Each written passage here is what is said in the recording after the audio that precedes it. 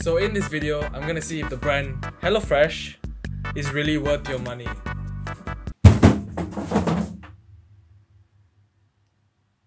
I probably shouldn't have done that.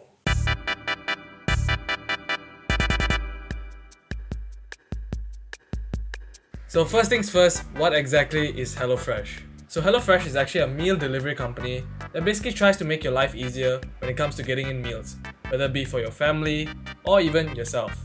Now the one interesting thing about HelloFresh is that they don't actually send you meals. Alright, I know that doesn't make sense, but let me explain. What makes HelloFresh different is that they actually send you the ingredients for your meals, and then you cook it at home for yourself. So they're pretty much like the IKEA of food. So basically they send you the parts and then you do it yourself, if that makes sense. Also, before we go any further, I would just like to say this video is not sponsored by HelloFresh in any means or forms. This is just my views and opinions because it's my first time trying out HelloFresh. But, with that being said, if HelloFresh just want to sponsor me, please, then you know, I wouldn't say no. So just to quickly run down how HelloFresh works is step 1, you order what kind of box you want. So for example, meat and veggies or just veggies alone. Then step 2, you choose how many meals you want for how many people in a week. And then finally you pay and then select what meals exactly you want from the list of recipes they have on their website. So for this review, to make it fair, I chose one meat dish and one purely vegetarian dish.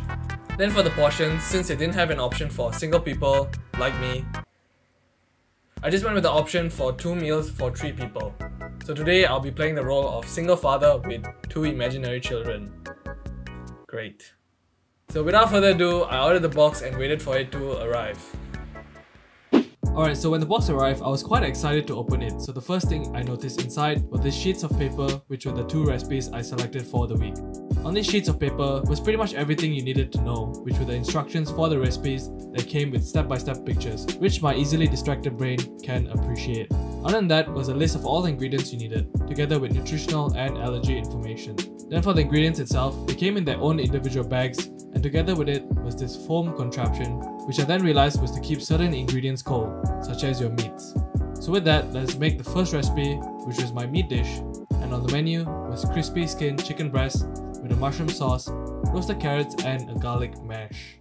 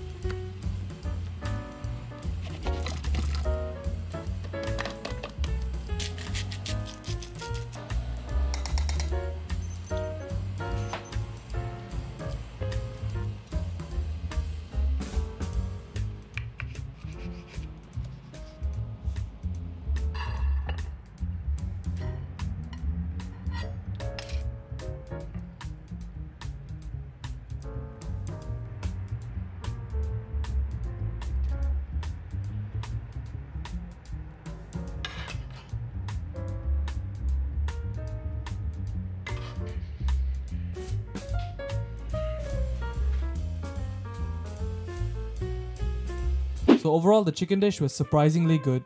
Because normally if you think about meals with chicken breasts, what comes to mind are things like the Sahara Desert and my sense of humor. In other words, dry. One thing I have to note though is that if you did follow the recipe precisely, you would probably end up with dry chicken. This is because the time given to cook the chicken was way too long. So I had to actually use some of my limited but functional cooking intuition to take it out early. I think if you followed the time exactly, you would end up with rubbery chicken, and if you did feed that to your family, you would probably be arrested for child abuse. For the portion size itself, I would say it's a pretty substantial amount once you separate everything out and plate them individually. One negative I have to bring up though is that the dish does have a lot of individual components that all require attention. So it's pretty hands-on with the prep, meaning you will probably be standing in front of your stove for a while, which can be tiring. Overall, I would give this dish a 6 out of 10 for its great taste, decent portion size, but not so great on the ease of prepping everything. Next for meal 2, we have Cajun Spice Roasted Vegetable Stew. Ooh, spicy.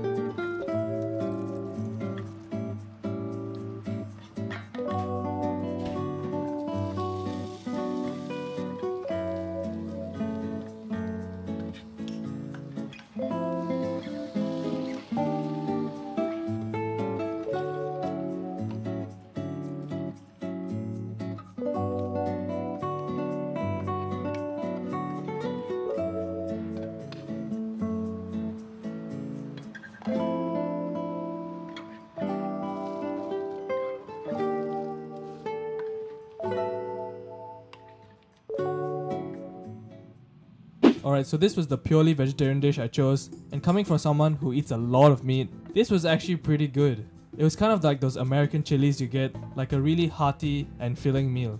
In terms of prepping everything and the cooking part, it wasn't too bad because all you had to do was roast some vegetables and the rest of the dish came together in one pot. Also, I know it was labeled as spicy, but this dish was not spicy whatsoever. Like I added all the spices provided, which was actually more than the recommended, and it was still not spicy. Alright, it wasn't spicy to me, but maybe, you know, it is to a certain demographic of people. I thought the combination of the stew with the rice and the yogurt dressing went really well together. And in terms of portion size, you actually get a lot of stew out of the ingredients. Probably like 5 to 6 portions, which is great. So overall, I would give this dish a 9 out of 10 because of the minimal prep, decent portion size, and overall great taste.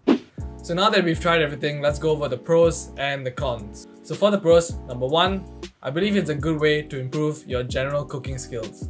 By just following the recipes provided, you get to practice cooking every single week. And also, you get to try things out of your comfort zone, for example, different cuisines or even a different style of food. Number two, you get fresher meals. Alright, I know it's quite self-explanatory, but yeah, you get fresher meals because you're cooking everything from home, from scratch, with ingredients.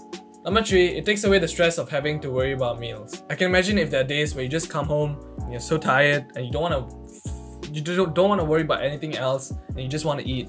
So with this, I think it's a pretty good option because you already have your recipe, you just need to follow it, you don't need to think, follow it, cook your meal, eat, and that's it. Now for the cons. Number one, it isn't really time saving.